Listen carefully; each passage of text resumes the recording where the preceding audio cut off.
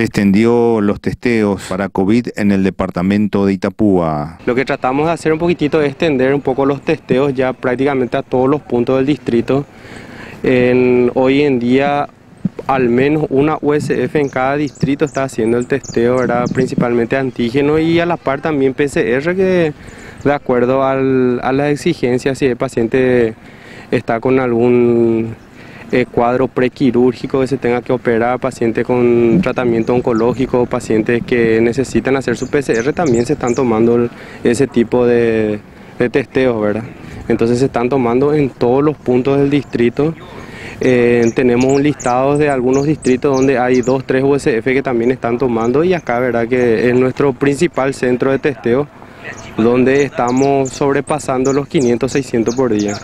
500, 600 es el promedio, doctor. Por día acá.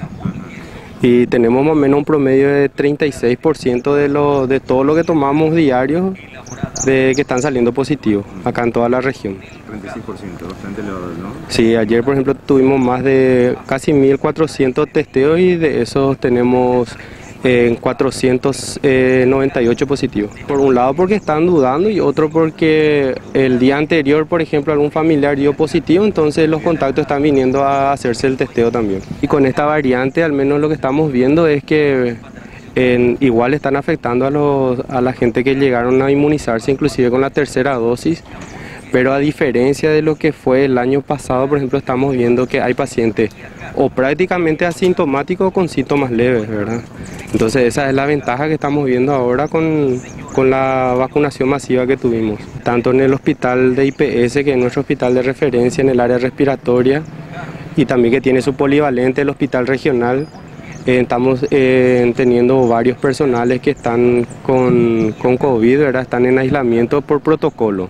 La mayoría, por suerte, o como te dije, con síntomas leves o asintomáticos, pero se tiene que cumplir el protocolo de aislamiento que hoy en día ya cambió, que son, si tiene las dos vacunas, son nada más que siete días.